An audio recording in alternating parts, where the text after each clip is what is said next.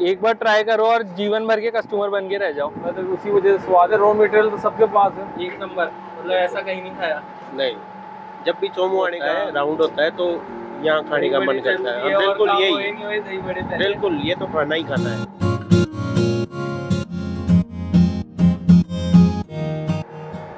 आज हम आ गए हैं चोमू की मशहूर दही बड़े और कांजी बड़े की दुकान पे जहाँ पर अगर आप देर से आएँगे थोड़ा सा लेट हो जाएँगे तो आप शायद दही बड़े के स्वाद से वंचित रह जाएँगे। तो मिलते हैं। जी अंकल क्या नाम है आपका? मेरा सुधीर नाम सुधीर पारिक। सुधीर पारिक। हाँ। और आप मतलब शुरू कब से दही बड़े का और कांजी बड़े करते हैं काम? चौदह साल हो गए चौदह साल से। तो आपके स्वाद का क्या राज है जो हमेशा आपको दुकान पे लोग आए हुए मिल जाएँगे? स्वाद का राज तो क्या है भाई हम रॉ मटेरियल अच्छा है हमारा। और दिल से बनाते हैं तो उसी वजह से स्वाद है। रॉ मटेरियल तो सबके पास है। मतलब जो आपका प्यार है बनाने का वो उसी से ही स्वाद आता है जो स्वाद है। वैसे बनाता हूँ जो बड़े मन से बनाता हूँ। अच्छा। ये खाओगे क्या? कितने? कितनी? भैया आप क्या लेने आए हैं? दही बड़े। और आप वैसे रेगुलर आते रहते हैं? बढ़िया लगता है सबको स्वाद।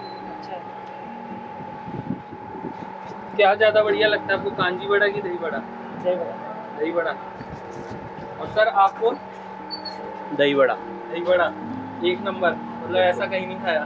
नहीं। जब भी चोमू आने का वो होता है राउंड होता है तो यहाँ खाने का मन करता है। बिल्कुल यही।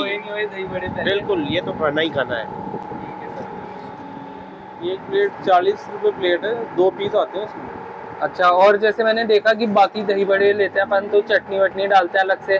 नहीं ऐसा कुछ भी नहीं सब मिला के रखता हूँ। ये तो वो पानी पी लेते हैं जैसे खाने के बाद में कां, कांजी बड़े का पानी है ना वो मैं पिलाता हूँ फ्री।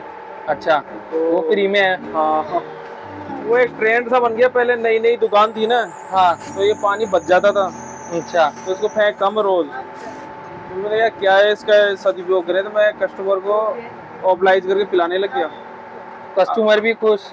हाँ कस्टमर भी गुजर फिर अब ये स्थिति होगी ये चार चार बार बनानी पड़ती है। जो दही होता है इसमें ही चटनी वटनी सब मिला के रखते हैं हाँ, पहले चटनी नहीं बनाते मैं इसे मिश्री डालता हूँ। मिश्री डालते हैं। इमली वगैरह कोई यूज़ नहीं करते हाँ और अपन देखें तो लोगों को सालों लग जाते हैं दुकान सेटअप करने में पर आपका अभी ऐसा बस भगवान की कृपा है एक तरह से। और कितने प्लेट बनाते हैं आप? क्योंकि आपका जल्दी खत्म हो जाता है सामान चार बजे का पीछे रीजन क्या होता है? देखो हर आदमी दुकानदार अपनी बढ़ाई करेगा। कितने? खा लिया आपने? हैं? उसमें ऐसा है कि हमारी टेंडेंसी ये रहती है जैसे आज जो बनाया है ना माल वो आज खत्म होना चाहिए। और दूसरे दिन हम लाते नहीं हैं। तो नहीं लाने के पीछे क्या अगर मैं एक्सेस माल बना लूँगा बच गया तो फिर वो मेरे को मतलब बांटना पड़ता है फेंकना पड़ता है। तो उसकी वजह से क्या है मैं ऐसे सर्टेन क्वान्टिटी लेके चलता हूँ कि वो शाम को छः सात बजे तक खत्म हो जाए।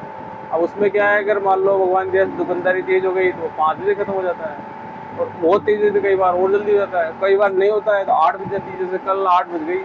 मतलब सबको क्वालिटी वाला और ताज़ा मिलता है। हाँ बस वो मेरा ये रहता है भाई देखो इसमें देखो खाने पीने के काम में क्या है कि इतनी मॉरलिटी तो रहनी चाहिए।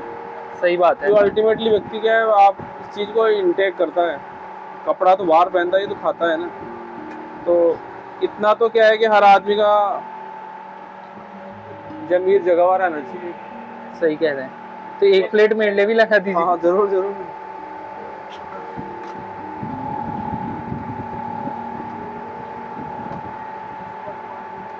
तो बड़ा भी अलग तरीके का है नॉर्मल जैसे गोल से बनाते हैं लोग। नहीं ये मैं उड़द की दाल का नहीं बनता है उड़द की दाल का नहीं बना रहे आप। हाँ। तो इसमें कौन कौन सी दालें हैं? चौले की दाल है खाली। अच्छा। तो चौला मगर होता है ना वो। हाँ। आवला ले तो अभी हम ट्राई कर रहे हैं दही बड़ा देखिए। बहुत ही हेल्दी है क्योंकि चोले की दाल से बना हुआ है।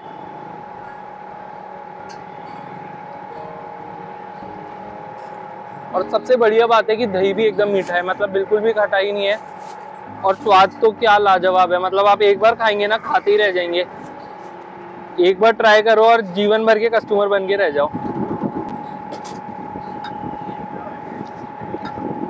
烧饼